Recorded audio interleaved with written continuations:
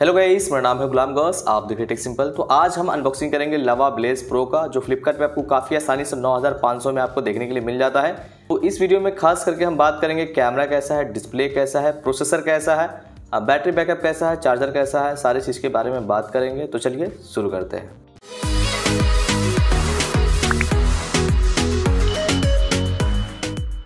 तो बॉक्स को जैसे ही ओपन करेंगे, सबसे पहले आपको यहाँ पे छोटा सा एक और बॉक्स मिल जाता है, जिसमें आपको यहाँ पे बैक केस मिल जाता है, जो ट्रांसपेरेंट है, यहाँ पे सिम इजेक्टर है, और यहाँ पे प्यारा सा फ़ोन है, जो कि आप देख सकते हैं, और यहाँ पे टाइप सी चार्जिंग पोर्ट है, एक चार्जर है, जो कि 10 वाट का है, और 10 वाट नहीं होना चाहिए था, कम से कम यहाँ पे 18 वाट का चार्जर ज़रूर होना चाहिए था।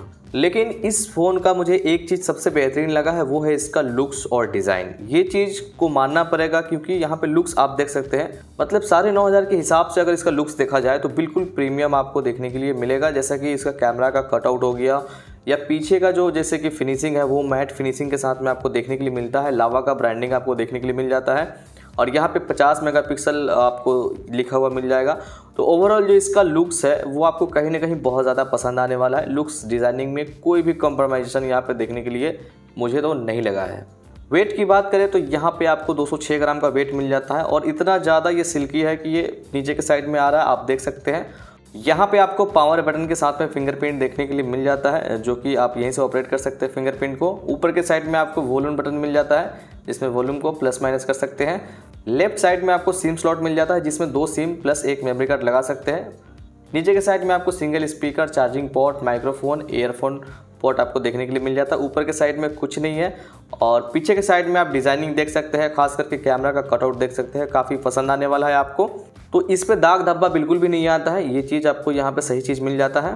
फ़ोन को हमने ऑन कर लिया है। डिस्प्ले की बात करें तो यहाँ पे आपको एच डिस्प्ले मिलता है। फुल एच डिस्प्ले नहीं मिलता है, लेकिन फिर भी जो डिस्प्ले का क्वालिटी है वो काफ़ी अच्छा है। और ब्राइटनेस की बात करें तो इतना ब्राइटनेस है कि आप डे लाइट में भी इस्तेमाल इसको कर सकते हैं। बहुत जो एक्सेस ब्राइटनेस होता है, उतना ज़्यादा तो ब्राइटनेस नहीं मिलेगा इस पॉइंट के हिसाब से किसी भी फ़ोन में, लेकिन ब्राइटनेस ठीक ठाक है। आप इसको यूज़ कर सकते हैं डे लाइट में भी और लो लाइट में भी। फ़ोन में एक चीज़ मुझे ये अच्छा लगा है कि एक भी आपको फालतू ऐप्स आपको देखने के लिए नहीं मिलता है। बिल्कुल क्लीन है। तो जितने भी ऐप्स हैं, लगभग सारे गूगल के ऐप्स आपको इसमें देखने के लिए मिलता है। और भी एक भी फालतू यहाँ पे ऐप्स आपको देखने के लिए नहीं मिलेगा। और गूगल डायलर होने के कारण जो इसमें ऑटोमेटिक कॉल रिकॉर्डिंग का ऑप्शन जो है, वो आपको नहीं मिलता है। तो अगर आप किसी को कॉल करेंगे और कॉल रिकॉर्डिंग अगर उसको आप करेंगे तो उसको पता चल जाएगा कि आप कॉल रिकॉर्डिंग कर रहे हैं।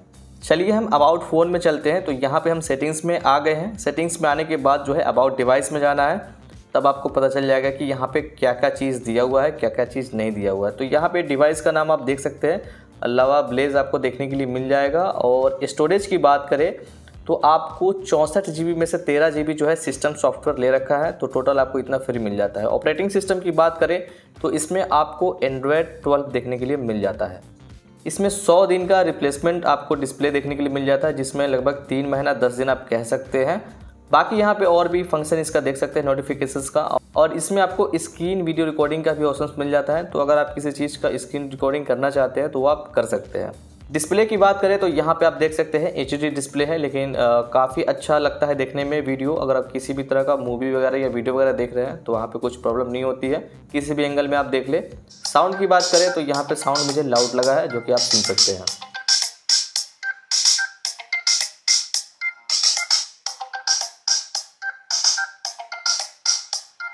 तो देखिए, फ़ोन का जो मेन होता है, वो प्रोसेसर होता है। तो इसमें आपको मीडिया टेक का Helio G thirty seven processor मिल जाता है, जो ये एक मीडियम प्रोसेसर है। लेकिन देखिए, अभी इसमें हम एक एक करके एप्लीकेशन को ओपन कर रहे हैं, ताकि आप नोटिस करें कि कितना देर में ये ओपन हो रहा है। और मेरे हिसाब से जो एप्लीकेशन है, वो ठीक ठाक ओपन हो जा रहा है। जी थर्टी सेवन जो है, एक नया प्रोसेसर है, लेकिन मीडियम प्रोसेसर है।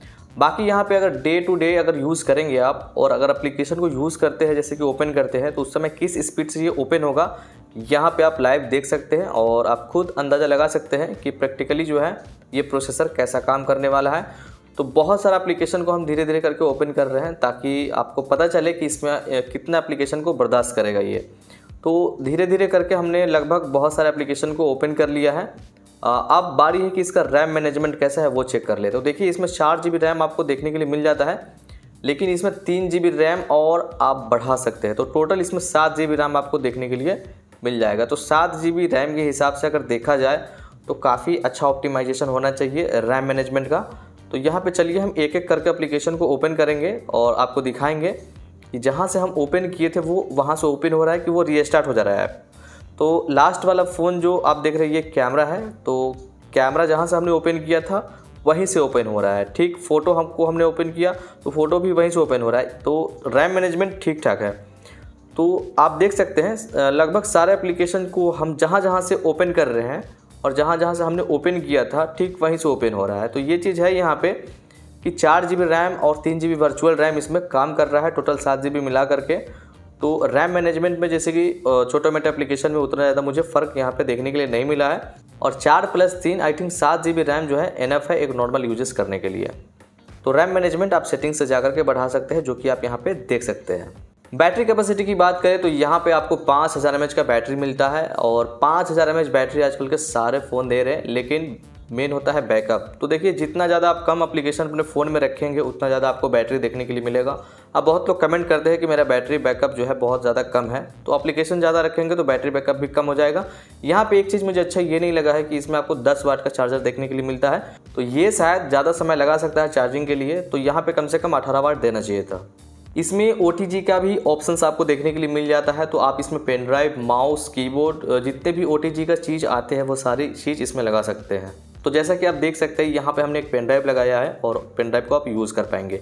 कैमरा की बात करें तो 50 मेगापिक्सल मेन कैमरा मिल जाता है, बाकी दो दो मेगापिक्सल के हिसाब से आप मान लो, किसी काम का नहीं है वो। सेल्फी कैमरा की बात करें तो यहाँ पे आपको 8 मेगापिक्सल का सेल्फी कैमरा देखने के लिए मिलता है। तो कैमरा को जैसे ओपन करेंगे, सबसे पहले आपको कुछ इस तरह से इंटरफेस इसका देखने के लिए मिल जाता है। तो हमने एक यहाँ पे फ़ोटो ले लिया है और इसे हम जूम कर रहे हैं और ये एक फ़ोटो का फ़ोटो है। मतलब किसी ह्यूमन सब्जेक्ट का नहीं है।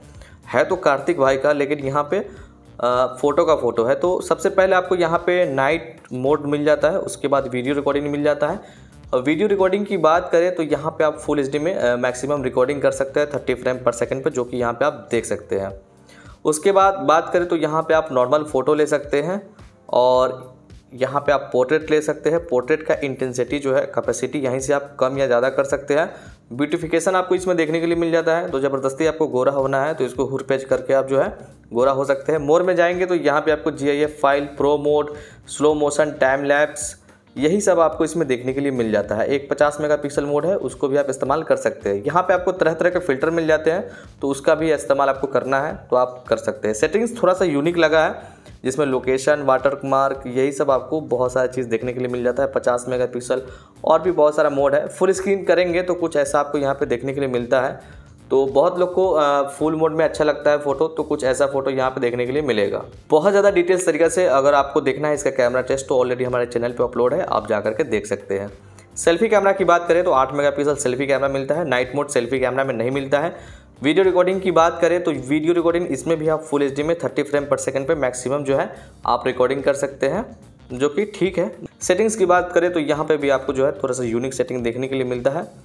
तो ओवरऑल देखा जाए अगर तो फ़ोटो वीडियो सेल्फी का भी पोर्ट्रेट का भी और रियर कैमरा का भी सारा चीज़ यहाँ पे मुझे अच्छा लगा है। अभी हम आपको सैंपल दिखाएँगे। तो सैंपल देखने के बाद आप खुद डिसाइड कर लेना कि यहाँ पे फ़ोटो जो है किस तरह से निकल के आ रहा है। बाकी मुझे कैमरा अगर देखा जाए इसका तो 9,500 के हिसाब से अगर देखा जाए देखिए 10,500 तो प्राइस है इसका लेकिन सेल में 9,500 में मिल जाता है ये। बाकी यहाँ पे सेल्फी में भी आपको ब्यूटिफिकेशन देखने के लिए मिल जाता है तो वो भी आप लेपापोती कर सकते हैं यहाँ पे। जूमिंग की बात करें तो यहाँ पे 6x का जूमिंग आपको देखने के लिए मिलता है, जो कि आपको रियर कैमरा में भी और सेल्फी कैमरा में भी आप 6x जूमिंग कर सकते हैं। यहाँ पे तरह तरह के हमने फ़ोटो दिखाया है आपको, जिसमें पोर्ट्रेट है नॉर्मल है अलग अलग लाइटिंग कंडीशन के हिसाब से है, ताकि आप अंदाज़ा लगा सको कि रियर कैमरा से सेल्फी कैमरा से इंडोर में किस तरह से यहाँ पे फ़ोटो निकल के आता है।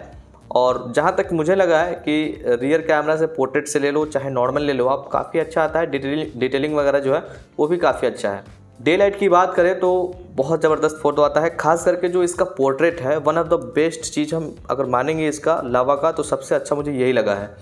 पोर्ट्रेट में आप सेल्फी में ले लो या नॉर्मल जैसे कि कैमरा से ले लो बैक कैमरा से, दोनों में ज़बरदस्त फ़ोटो निकल के आता है। बिल्कुल डीएसएलआर जैसा ब्लड करता है तो आपको पोर्ट्रेट के लिए सोचना नहीं पड़ेगा। एज डिटेक्शन जो है, वो भी काफ़ी अच्छा कर लेता है ये। 50 मेगापिक्सल का मोड का सैंपल आपको यहाँ पे देखने के लिए मिलेगा, लेकिन पता नहीं चलेगा अभी। लो लाइट की बात करें तो नाइट मोड काम करता है थोड़ा सा। और यहाँ पे देख सकते हैं, लाइट का कंडीशन कम है तो उसको थोड़ा सा इम्प्रूव कर देता है। तो ये तो सबको पता है कि थोड़ा सा नाइट मोड में इम्प्रूवमेंट देखने के लिए मिलता है। लेकिन लो लाइट का भी कैमरा का फ़ोटो सब जो है, बहुत अच्छा मुझे लगा है इसका देखा जाए तो। रिकॉर्डिंग की बात करें तो यहाँ पे फुल एचडी में आप रिकॉर्डिंग कर सकते हैं 30 फ्रेम पर सेकंड पे। यहाँ पे जो एक चीज़ का कमी लगा है, वो है ऑटो फोकस का। ऑटो फोकस अच्छा काम नहीं करता है इसका, इसमें आपको टच फोकस से काम चलाना पड़ेगा। बाकी वीडियो का जो क्वालिटी निकल के आता है, वो अच्छा निकल के आता है। सेल्फी की बात करें तो यहाँ पे सेल्फी में भी काफ़ी अच्छा आपको देखने के लिए मिल जाता है। और अगर बैकग्राउंड में जैसे कि सन रहेगा तो वो किस तरह से एडजस्ट करता है, वो भी आप क्लियरली इस वीडियो में देख सकते हैं। इसमें आपको स्लो मोशन भी मिल जाता है। तो अगर आपको स्लो मोशन करना है तो आपको कुछ इस तरह से क्वालिटी देखने के लिए इसमें मिलेगा। ज़्यादा डिटेल्स में कैमरा देखना है तो ऑलरेडी हमारे चैनल पर अपलोड है। आप जा करके देख सकते हैं लिंक डिस्क्रिप्शन में भी है। जूमिंग फ़ोटो की बात करें तो इसलिए हम जूम कर रहे हैं ताकि आपको पता चले कि 50 मेगापिक्सल और नॉर्मल में क्या फ़र्क है। तो यहाँ पे पहले जो आप देख रहे हैं, ये हम नॉर्मल ले रहे हैं तो यहाँ पे कुछ इतना आपको मैक्सिमम जूम देखने के लिए मिलेगा। अगर यही फ़ोटो को हम 50 मेगापिक्सल वाले मोड से आपको दिखाएँ तो इसमें एक ही फ़ायदा है कि आप इसमें थोड़ा सा ज़्यादा जूम कर पाएँगे। तो देखिए 50 मेगापिक्सल का साइज़ भी बहुत बड़ा होता है तो बहुत लोग इसको इस्तेमाल नहीं करते हैं। बाकी रियर कैमरा का हो, फ़ोटो या सेल्फी का हो दोनों काफ़ी ज़बरदस्त आ जाता है और दोनों में डिटेलिंग काफ़ी अच्छा खासा आपको देखने के लिए मिल जाए। तो देखिए जिनका बजट 9500 यानी 10000 के आसपास है और वो एक ऐसा फ़ोन लेना चाहते हैं जो काफ़ी अच्छा लुक्स के साथ में देखने के लिए मिल जाए। तो अगर आपको डे टू डे यूज़ करना है नॉर्मली तो ऐप ओपनिंग स्पीड से पता चल चल सकता है कि कैसा है। बाकी यहाँ पे हमने आपको बता दिया है कि कैमरा कैसा है सारा चीज़ इस वीडियो में हमने बता दिया है। आप खुद डिसाइड कर लेना कि आपको ये परचेज करना है कि कर, नहीं करना है। बाकी वीडियो कैसा लगा, वीडियो को ज़रूर कमेंट सेक्शन में बताइएगा। वीडियो अच्छा लगा होगा अगर आपको तो वीडियो को लाइक कर दीजिएगा और हमारे चैनल टेक सिंपल को सब्सक्राइब कर दीजिएगा।